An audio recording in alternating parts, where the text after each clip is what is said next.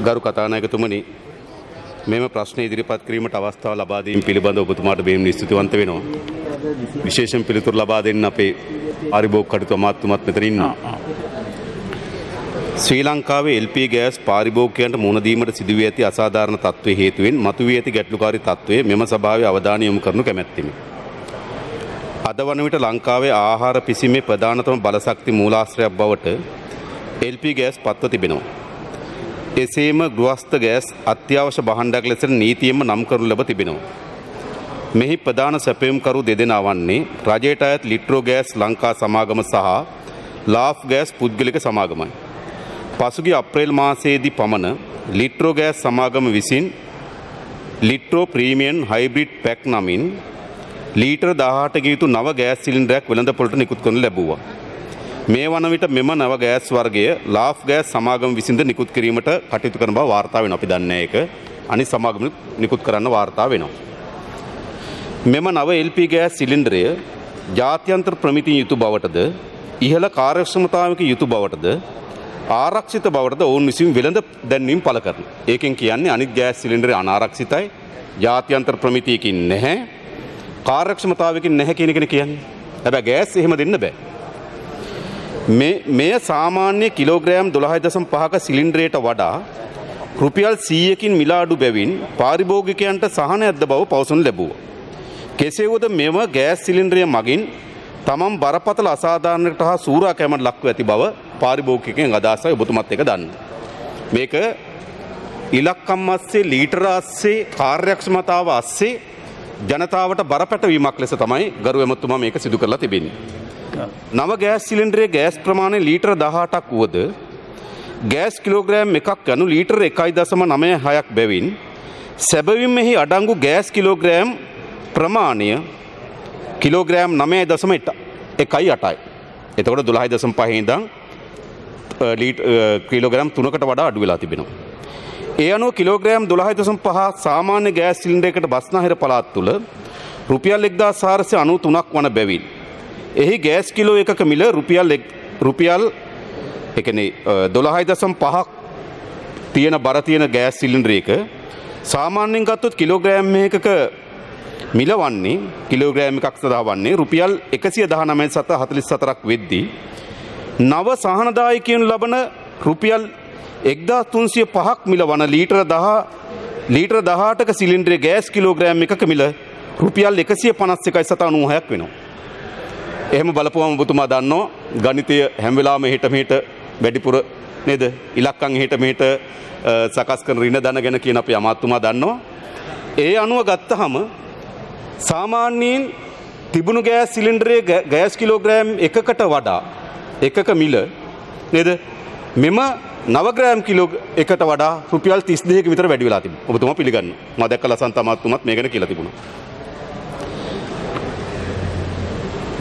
ඒ අනුව පෙරකී කිලෝග්‍රෑම් දොලායි දස පහේ සිලින්ද්‍රයේ ප්‍රමාණයට එහි නව සහනදාය ගෑස් පිරුමේ නම් එහිමිල රුපියල් එක්දා සටස අනු හයක් එක්දා සටස අනු නමයි සට පණහක් වෙනවා. ඒ අනුව ගැලැප්පුුවත් අපි එක්දා සටසය අනු හය අනු නමයක් වෙන මෙම නව ගෑස් සිලින්ද්‍රී. ඒ අනුව පැරණි කිලෝග්‍රෑම් දොලාහි දසම් පහේ සිලින්ද්‍රේටම නව ගෑස් ලීටර් දාහටක් පුරවා මෙම සමාගම පාරිභෝගිකන් රැවටීමට ලක්කර සිලින්ඩරයකට රුපියල් හාරසිය අටයි සත පනාක අයිතුමිල වැඩිවීම. ඇත්තටම සිදු කරලා තිබෙන්නේ නේද රුපියල් හාරසිය හයක අයිතුමිල වැඩිකිරීමක් කරලා තිබෙන. හැබ ඔබතුමල මා දැක්ක ඊයේ අමාත්‍ය අනුකමිටු තීන්දුවක් ගත්ත කියලා කියනවා ගෑස්මිල වැඩි නොකරන්න මහින් දමරවීර අමත්තුම මාදක ප්‍රකාශ කළ තිබුණා. එතර හැබැ ගෑස්මිල වැඩි කරන්න තීන්දයක් ගත්තු නැතුවුණට තමුන්වන්සල කරන දේ තමයි. තිබුණු ගෑස් සිලින්ඩරේ බර අඩුකොට මිල රුපියල් සියකින් අඩුකොට. එතොට මිලට වඩා බර අඩුකොට මේ වංචාකාරි ක්‍රියාවේ මේ ගෑස් සමාගම නිර්ත වෙන බව තමයි මෙම සංඛ්‍යාදත් වලින් පෙන්න්න. මෙම මිල වැඩිකිරීම සඳ පාරිභෝග අධිකාරය අනුමැති ලැබේ ඇති බවත් දැනගන්නට නැහැ මදනගන්න කැමති මේකට පාරිභෝග අධිකාරය අනුමැති දුන්නද මොකද පාරිභෝග අධිකාරය අනුමැති දීලා තිබෙන්නේ කිලෝග්‍රෑම් 12.5ක් වන සිලින්ඩරයක් සඳහා මිල. අනෙක් බරපතල කරුණ වනුවේ පාරිභෝගිකයන් පෙරදී මිලදීගත් එකම වර්ණය සහිත ටැංකියේ කිලෝගෑම් බර පිළිබඳ සඳහන මකාදමා ලීටර් ප්‍රමාණය මුද්‍රණය කොට වෙනත් ගෑස් මිශ්‍රණයක් පුරවා වෙළඳපොට නිකුත් කර ලැබීමයි. නිල් පාටමයි. හැබැයි බර සඳහන්නේ ලීටර් ගාන විතරක් තියෙනවා. සාමාන්‍යයෙන් ඔබතුමා දන්නවා ගෑස් සිලින්ඩරයේ උසත් එකයි පාටත් එකයි සාමාන්‍ය පුරවැසියන් ගිහිල්ලා ඒකේ ලීටරද තියෙන කිලෝග්‍රෑම්ද තියෙන කියලා බලන්නේ නැහැ. ඒ නිසා මේක හිතා මතාම පාරිභෝගිකයන් රවට්ටමින් වංචාකාරී ලෙස මේ ගෑස් සමාගම ආදායම උපයා ගැනීම සඳහා දරන ප්‍රයත්නයක් තමයි මේ තිබෙන්නේ. ඒ වගේම පාරිභෝගික අධිකාරිය මිල වැඩි කිරීමට ඉඩ ලබා නොදී තිබියදී වංචාකාරී ලෙස මිල වැඩි කිරීම සඳහා දරන උත්සාහයක් මේ තුල තිබෙනවා පෙන්눔 කරනවා. මෙමගින් පාරිභෝගිකයන් පෙර ගෑස්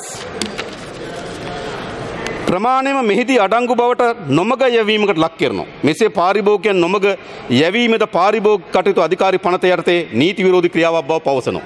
මා දැක්ක දැන් ඔබතුමාලා පාරිභෝගික අධිකාරිය නඩු දාලා කියලා. මොකද නඩු දාන්නේ? ලිට්‍රෝ ගෑස් සමාගමේ සභාපති කවුද? අනිල් මහත්මයා ඔයගොල්ලන්ගේ සමීපතම කට්ටිය. ඒතර ගෑස් සමාගම ශ්‍රී ලංකා ඉන්ෂුරන්ස් සමාගමට යටත්.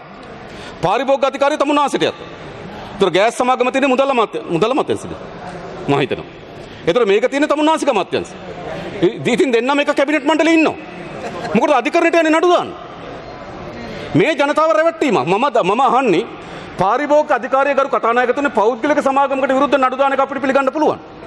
පාරිභෝගික අධිකාරිය තියෙනවා ගරු වෙළඳ අමාත්‍ය බන්දුල ගුණවර්ධන මහත්මයා ගාව. ගෑස් සමාගම තිබෙනවා රාජ්‍ය අමාත්‍යතුමා ගාව ලසන්ත අලගියවන්න. ගෑස් සමාගම තියෙනවා ඒ තාණ්ඩුව සම ආයිතිය. ඉතින් දෙන්නම එක කැබිනට් මණ්ඩලේ ඉන්නේ. දෙන්න උසාවි නඩු දාන දෙන්න උසාවි මුණ ගැහෙනවද? එනිසා මේ මේ වංචාව වසා ගැනීම සඳහා තමයි මේ නඩු කියන කතාව ගොතලා තිබෙන ගරු නියෝජ්‍ය ගරු කතානායකතුමනි. එසේම නව නිෂ්පාදන හඳුන්වා දීමේදී මෙම සමාගම ප්‍රකාශ කරන දේවල් සාමාන්‍ය වර්ගී කිලෝග්‍රෑම් 12.5ක් ගෑස් සිලින්ඩරය හිගයකින් තොරව ගත හැකි බවයි. හිම හිගයක් ඔබ දමදන්න හිම හිගයක් තියෙනවා එක බොරු. මීට අමතර වශයෙන් අවශ්‍ය පාරිභෝගයන්ට නව ගෑස් මිශ්‍රණ මිලදී ගත හැකි බවට ප්‍රකාශ කරනු ලැබුවා. නමුත් මේ වන විට වෙළඳ පොලේ සාමාන්‍ය ගෑස් සිලින්ඩර වලට බරපතල හිගයක් ඇති අතර වැඩි වශයෙන් මිලදී ගැනීමට ඇත්තේ නව වංචනික ගෑස් සිලින්ඩරයයි. මොකද මේ අර සිලින්ඩරය මකලා දැම්මේ. වෙළඳ පොලේ 12.5 ගෑස් සිලින්ඩරයෙන් හිග නොවී තියෙන නම් ගරු නියෝජ්‍ය කතාන කරු කතානායකතුමනි අලුත් සිලින්ඩර ගැනලා පුරවන්න ඕන. නෑ අලුත් සිලින්ඩර නෙවෙයි පිරවේ පරණ සිලින්ඩර වලටම.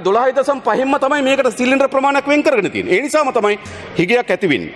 මේ தත්ත්වය තුල ගරු ඇමතුමා මේ ප්‍රශ්න වලට පිළිතුරු ලබා දෙනවා තමයි බලාපොරොත්තු වෙනවා. එක නව ගෑස් සංයුතිය සහිතව වැඩි කරන ලද මිලකට අඩු ගෑස් කිලෝග්‍රෑම් ප්‍රමාණයක් සහිත සිලින්ඩරයක් වෙළඳපොළට නිකුත් කිරීමට පාරිභෝගික අධිකාරිය විසින් අනුමැතිය ලබා දී තිබේද. නව ගෑස් සිලින්ඩරයේ ජාත්‍යන්තර ප්‍රමිතිය සහ ඉහළ කාර්යක්ෂමතාවය පිළිබඳ කර ලබන වෙළඳ ප්‍රචාරණයන් සත්‍යයේවාද. ඒ පිළිබඳ ආණ්ඩුව ඇති සහතිකය කුමක්ද. ඒවා සත්‍යය නම් දැන්තියන ගැලස් ගෑස් සිලින්ඩර අකාරක්ෂමයි අනාරක්ෂිතයිද ජාත්‍යන්ත්‍ර ප්‍රමිතියට නැද්ද මෙත්‍ර කල් ජනතාව පාවිච්චි කරන ගෑස් සිලින්ඩරේ. ඊළඟ පාරිභෝගිකයන් විසින් මිලදීගත් කිලෝග්‍රෑම් 12.5 වර්ගයේ සිලින්ඩරවලට මෙම නව සංයුතය සහිත අඩු ගෑස් ප්‍රමාණයක් පිරිවීම මගින් පාරිභෝගිකයන් නොමග යැවීමත් සිදුවන බව ආණ්ඩු විසින් පිළිගොනු ලබන්නේද. එය පාරිභෝග කටයුතු අධිකාරිය පනත යටතේ වරදක් නොවන්නේද. රටපුරා ගෑස්සිගයක් ඇති බවත් බොහෝ අලවිසල්වල විකිනීමට ඇත්තේ නව අඩු බර සහිත සිලින්ඩරය බවටත් පාරිභෝගිකයන් විසින් කරනු ලබන චෝදනාව පිළිබඳ ආණ්ඩුව මතය කුමක්ද. මෙම වංචනික ගෑස් මිල වැඩිකිරීම පිළිබඳව සහ ගෑස් හිගේ පිළිබඳව ආණ්ඩු විසින් ගනු ලබන ක්‍රියාමාර්ග කවරේද කියලා ගරු කතානායකතුම දැනගන්න කැමති බොහොම ස්තුතියි ඔබතුමාට මේ අවස්ථාව ලබා දීම පිළිබඳව. තමුන්නාන්සේගේ පළවෙනි ප්‍රශ්නය වෙළඳ පොළට මේ නව සිලින්ඩරේ නිකුත් කිරීමට පාරිභෝගික අධිකාරිය අනුමැතියක් ලබා දී තිබෙනවද? කිසිසේත්ම නැත. එවැනි නව ගෑස් සිලින්ඩරයක් ලබා දෙන්න පාරිභෝගික අධිකාරියෙන් 12.5 වෙනුවට අවසරයක් දීලා නැහැ. නමුත් එකී සමාගමට පුළුවන්කම තියෙනවා නවෝත්පාදනය. මීට කලින් නොතිබුණ නිෂ්පාදනයක් ඒ සමාගමේ තීරණ අනුව ඉදිරිපත් කරන්න. ද සමාගම කටයුතු කරන්නේ සභාපතිවරයෙක් ඇතුළු අධ්‍යක්ෂක බණ්ඩයක් විසින් ඒ අයි විසින් ගනු ලබන තීන්දු තීරණ අනුව තමයි ඒ අයගේ ප්‍රතිපත්ති තීරණය කරන්නේ. එතකොට නවෝත්පාදනයක් ලෙස තමයි අලුත් දෙයක් විදිහට තමයි අලුත් ගෑස් සිලින්ඩරය ඉදිරිපත් කරලා තියෙන්නේ. එහිදී මම ඔබතුමා කියන කරුණු සියල්ල පිළිගන්නවා. ඒ තුළින් පාරිභෝග්‍යයන් නොමග යැවීමක් සිද්ධ වෙලා තියෙනවා. පාරිභෝග්‍යයා මේ තීරණයක් ගන්න අපහසු වෙන ආකාරයට අයුතු ලෙස මිලෙන් අසාධාරණයක් සිද්ධ කරලා තියෙනවා ඒ සියල්ල පිළිගන්නවා. ඒ අනුව අපි කරලා තියෙන දේ තමයි රාජ්‍ය අමාත්‍යතුමා පේරාදනීය විශ්වවිද්‍යාලය ඇතුළු අනිකුත් විශ්වවිද්‍යාල පද්ධතියනුත් ප්‍රමිති ආයතනය අනික් ආයතනවලත් මේ නවෝත්පාදනයේ ප්‍රමිතිය පිළිබඳ වාර්තා ලබාගෙන තියෙනවා. ඒ පිළිබඳ ලබාගත්ත වාර්තා රාජ්‍ය අමාත්‍යතුමා විසින් සභාගත කරයි. ඊළඟට තුන්වෙනි අතුරු ප්‍රශ්නයට අහනවා පාරිභෝක්‍ය විසින් මිලදීගත් කිලෝග්‍රෑම් දොළයි දසම් පහ මෙම නව සංයුතිය සහිත අඩුබර ප්‍රමාණයක් නගින් පාරිභෝක්‍ය නොමගැවීම සිදු කරලා තියෙනවද ආණ්ඩුව ගත්ත ක්‍රියාමාර්ග මොනවද කියලා. අපි වෙළඳ පොළ පිළිබඳ සමීක්ෂණයක් කරලා තියෙනවා පාරිභෝග කටයුතු අධිකාරිය. ඒ සමීක්ෂණයේදී එළිදරව් වෙලා තියෙනවා මේ 12.5 ගෑස් සිලින්ඩරේ හිඟියක් තියෙනවා කියලා ඔබතුමා කිව්ව ආකාරයටම. ඒ නිසා ඒ තත්ත්වය නිවැරදි කිරීම සඳහා පාරිභෝග අධිකාරිය විසින් දෙදස් විසි එකයි හයයි නමවෙනි දින විසි දෙකයි තිස්ස එකයි ඇලයිරක් අටදරන අතිවිශේෂ ගැසට පත්‍රයක් මගින් විධානාංක හැත්ත අට නිකුත් කර ඇති අතර එමගින් සෑම අලවි හලකම දොලායි දසම් පහක් ගෑස් සිලින්ඩරයක් විකිනීමට තිබිය යුතුමයි. කියලා අතිවිශේෂ ගැසට නිවේදනයක් නිකුත් කරලා තියෙනවා පාරිභෝග කටයුතු පිළිබඳ අධිකාරිය සභාපතිවරයාගේ අස්සනේ. මම මේ අවස්ථාවේදී ඒ ගැසට නිවේදනය සභාගත කරනවා ඒ ගැසට නිවේදනය අනුව දොලායි දසම් පයේ ගැස ගෑස් සිලින්ඩරයක් අනිවාර්යෙන්ම තිබෙන්න ඕනේ. ඊළඟට දෙදා විසි එකයි හයයි නමවෙනි දින නිකුත් කරන ලද ඉහත විධාන හැත්තාට අනුව වෙළඳ පොලේ කිලෝග්‍රෑම් දුරයි දසම් පාක් ගෑසින්ද්‍රිය හිඟයකින් තොරව පවත්තාගෙන යාමට නිරන්තරයෙන් වැටලීම් හා විමර්ශන කටයුතු සිදු කරන අතර මේ විධානයට අනුව කටයුතු නොකරන වෙළඳුන්ට ගෑස් සභාගම්වලට විරුද්ධව නීතිමය පියවර ගැනීම සඳහා පාරිභෝග කටයුතු අධිකාරිය සියලු දිස්ත්‍රික් කාර්යාල නිලධාරීන්ට උපදෙස් ලබා දී ඇත. දැන් නඩු පැවරීම කරලා තියෙන්නේ මේ පාරිභෝග්‍ය නොමගැවීම සිදුවිය හැකි අතර පාරිභෝග කටයුතු අධිකාරිය පනතේ වරදක් වන බැවින් ඩෙට්‍රෝ ගෑස් සමාගමට විරුද්ධව මේ වන විට නඩු අංක එකොළයි දෙසි අසුවටයි ඇලයිරක් විසියක යටතේ මාලිකාකන්ද අධිකරණය නඩුවක් ගුණු කර ඇත.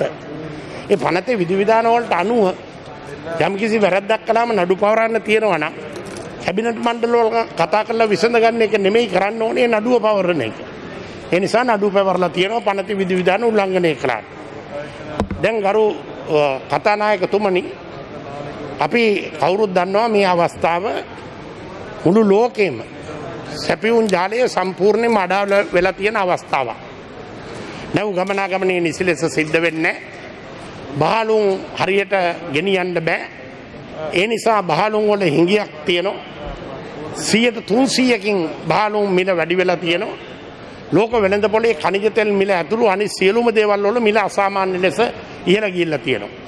ඉතින් රජයක් වසයෙන් පාරිභෝග ආරක්ෂාව සඳහා ගත හැකි සියලු ක්‍රියාමාර්ග අපි ගන්නවා මේ රටේ ජනතාවට බොරුවක් කල්ලා නොමග යවන තත්ත්වය නෙමෙයි. ඇත්තෙම ඉතා අමාරුදායක තත්ත්වයකදී ආණ්ඩු පක්ෂ විපක්ෂ බේදයෙන් ලෝකයේ මූුණ දීලා තියෙන තත්ත්වයක් ඒ නිසා අපිට ඇති වෙලා තියෙන අහිතකර තත්ත්වයක් පිළිබඳ ජාතික වසයෙන් කල්පනා කරන්නට කියන ආයාතනයක් අපි කරනවා. ඒ නිසා තමයි ගෑ සිලින්ඩරේක මිල වැඩි කරන්න ඉල්ලලා තිබුණා. පාරිභෝග කටයුතු අධිකාරියෙන් රුපියල් 751කින් එක සිලින්ඩරයක්. රජයේ ලිට්‍රෝ සමාගම ඉල්ලලා තිබුණා 650කින් ගෑස් මිල වැඩි කරන්න.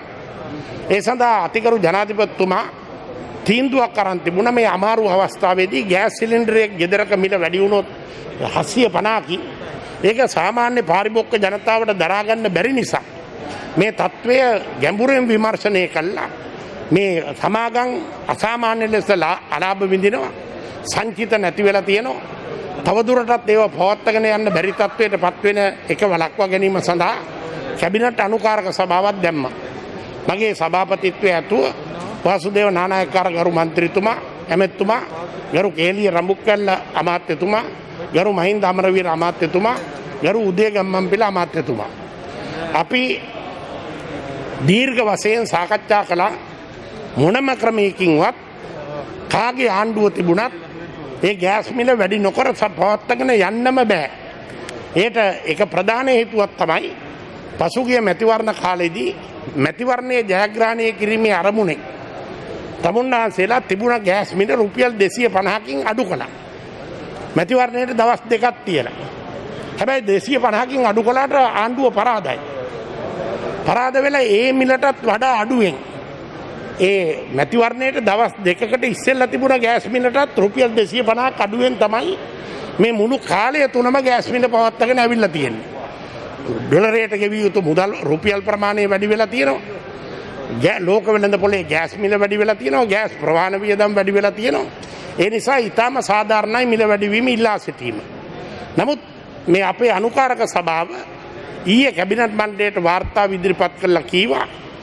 ගෑස් මිල සතයකින්වත් වැඩි කරන්න නැතුව ඉදිරි කාල පරිච්චේදය තුළ ඒ මිලම පවත්තගෙන යාම සඳහා අවශ්‍ය ක්‍රියාමාර්ග ගන්න අය.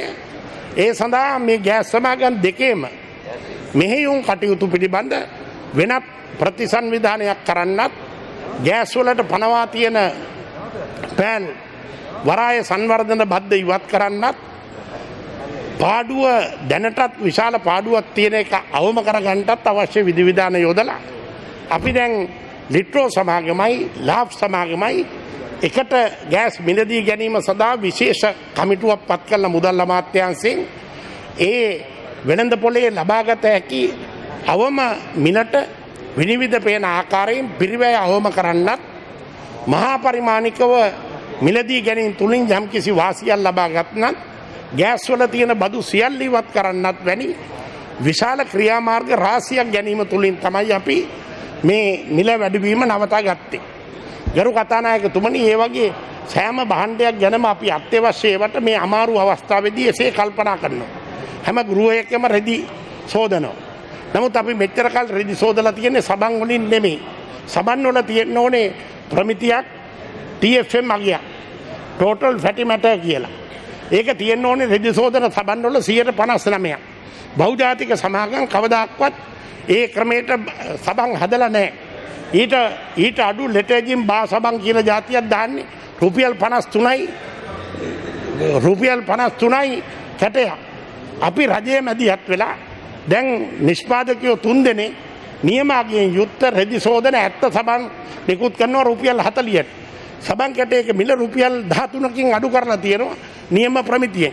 ඒ නිසා අපි අලුතෙන් රට ගැන හිතන්නේ පාරිභෝක්කෝ ගැන හිතන්නේ ජාවාරංකාර සමාගම් වලට අවශ්‍ය ලෙස නෙමෙයි මහජනයාගේ පැත්තෙන් හිතලා වැඩ කරන ආණ්ඩුවක් කියන එක මතක් කරමින් අතුරු ප්‍රශ්න තියෙනවන අහන් තානායකතුමනි මට ගොඩක් ප්‍රශ්න පැටෙන් අවශනය මගේ අතුරු ප්‍රශ්නවලට අතුරු උත්තර තිබුණේ.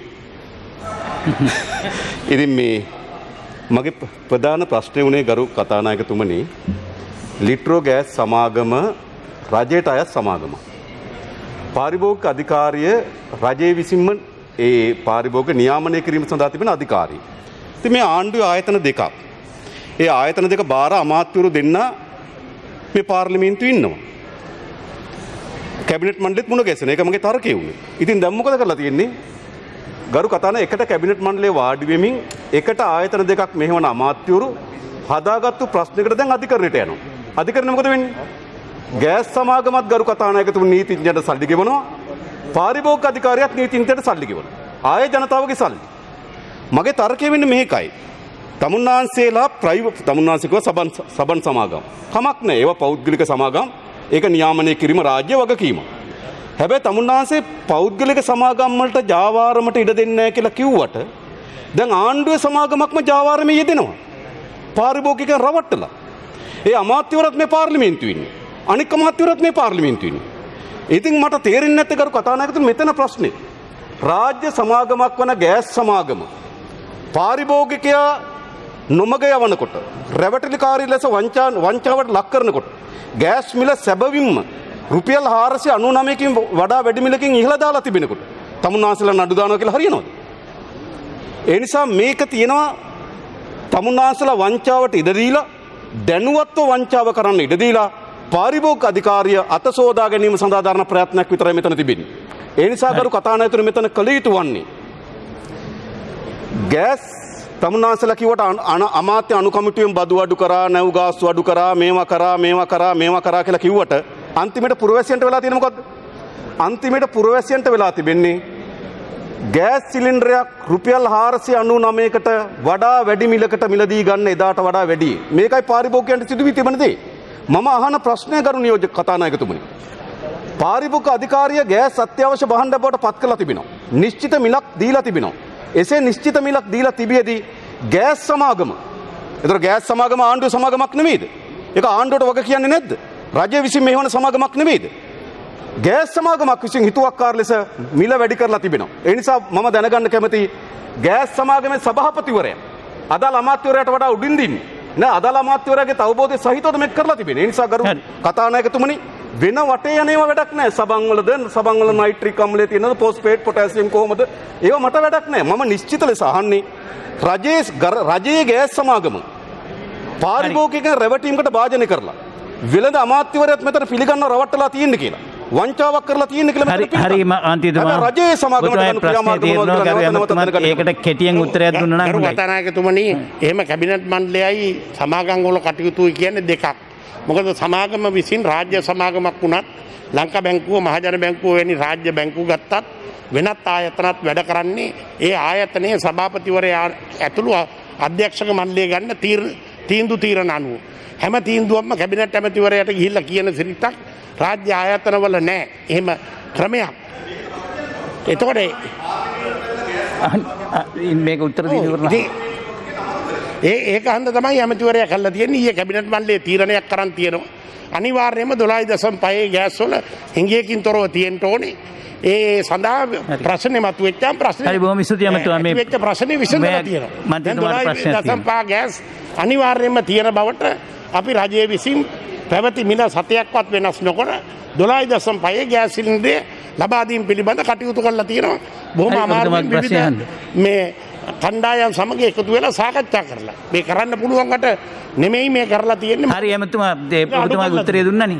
ඇමතුමනි මම ඔබතුමාගෙන් අහනව ඇමතුමනි මේ ප්‍රශ්නය පිළිබඳව කලිනුත් මම මේ සභාවේ ඔබතුමාගෙන් ඇහුවා ඔබතුමා කිව්වා නවෝත්පාදනයක් නං ගෑස් මිල වැඩිකිරීමට අයිතිය තියෙනවා කියලා. හැබැයි පාරිභෝගික අධිකාරියෙන් ඒ අ, අ, ලීටර් දහටේ සිලින්ඩරේ තියෙන ගෑස්වල මිශ්‍රණය ප්‍රමිතිය සංයුතිය පෙරදේ මේ- මේ මොරටුව විශ්වවිද්‍යාලය කනිසි සෙල් සංස්ථාවෙන් ඒක හොයල බැල පරීක්ෂණයට ලක් කරා. ඒ වගේම ඉන්ටටෙක් කියන ආයතනයට ප්‍රමිති ආයතනයට දීලත් ඒ සංයුතිය පරීක්ෂණය කරලා බැලවා. ඒක කිසි වෙනසක් නෑ කිලෝග්‍රම් දොලාමාර්ක සිලින්ඩරේ. එතෝට එකම ගෑස් එක තියෙන්නේ. හැබැයි ලීටර් දහටේ තියෙන්නේ කිලෝග්‍රෑම් නමයයි දසම එකයි. මිල වැඩිවීමක් රක්- වක්‍රව කරලා තිබුණා. ඒක වංචාවක්. පාරිභෝගික අධිකාරිය ඇමතිවරු දෙන්නටම මේ ගැන දැනුවත් කරා. මේකට නඩුදාණ්ඩ කියලා. හිට පස්සේ බැරිවෙනකොට ඒක අධිකාරයේ ඉන්න විදායක අධ්‍යක්ෂකවරයා ජනාධිපතිවරයාට මැයි මාසේ තුන්වෙනිද ලියුමක් එවල තියෙනවා. පැමිණිලි කරලා. දේශපාලන බලපෑම් තියෙනවා ඇමතිවරුන්ගේ මේක නඩුදාණ්ඩ දෙන්නේ නෑ කියලා. අපි තීරණය කර සමගි ජන බලවේගෙන් මේකට විරුද්ධ අපි නඩු දානවා. ලිට්‍රෝ සමාගමට විරුද්ධව. පාරිභෝග අධිකාරයට විරුද්ධත් අපේ නඩුවදාන ඔබතුමන්ලට විත්තත් විරුද්ධ අපි දාන මොකද මේක කෙලින්ම පාරිභෝගිකයන්ට කරපු වංශාවක් ඒ වගකිම ඔබතුමා ගන්ට ඕන ඇමතිවරයා හැටියට. ඔබතුමා වෙන කතාවක් කියන්නේ මෙතන